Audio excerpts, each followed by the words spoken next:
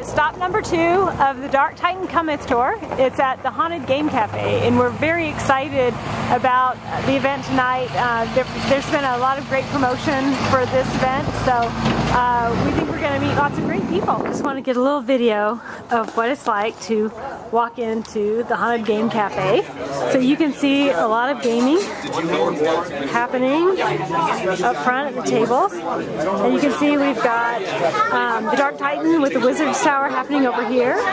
And we have Dark Titan with the base game, Castle Panic, over here with Dustin. and then we've got Dark Titan with the base game happening over here.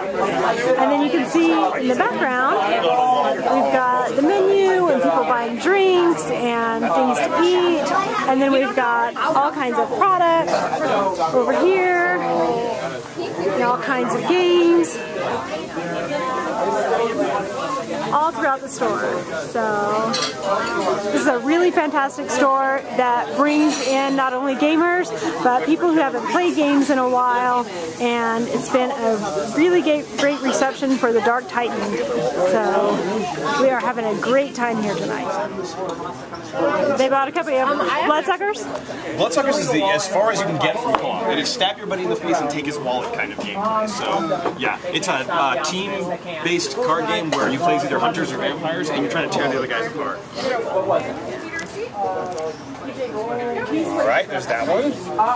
Is this your beat up Castle Panic? Yeah, our box, our box is totally He's a pretty good shape, actually. Like, like set it on the cart and fell down, and we're like, oh no. It's not gonna work. Right? Oh, man. Yep. And we do sell replacement pieces, so if your board is worn out, but the rest isn't, well, now that he's signing it, you may not Yeah, want. you may not want to throw this one. All right, you guys are set. Here is if we can figure out how to get Ann to sign some of these bears, we'll figure that out. Yes. Where's he at? So just uh, get a few more shots of. Is he spawn monsters or moving colors? Roll the die and place the Orc Warlord in the games in action. Got a lot of activity happening. Lots of decision making. So he'll take out whole towers and stuff. Okay.